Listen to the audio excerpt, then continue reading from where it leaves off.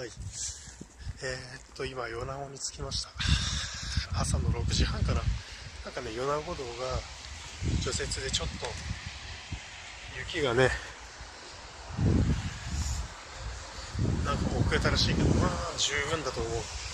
でもまあ、未だにね、庄山から大山まで日帰りでね、行けるルートがわかんない、日帰りの言い方わかんないから多分2日間休みもらわなくちゃダメだわ。はあそれ受かるかね面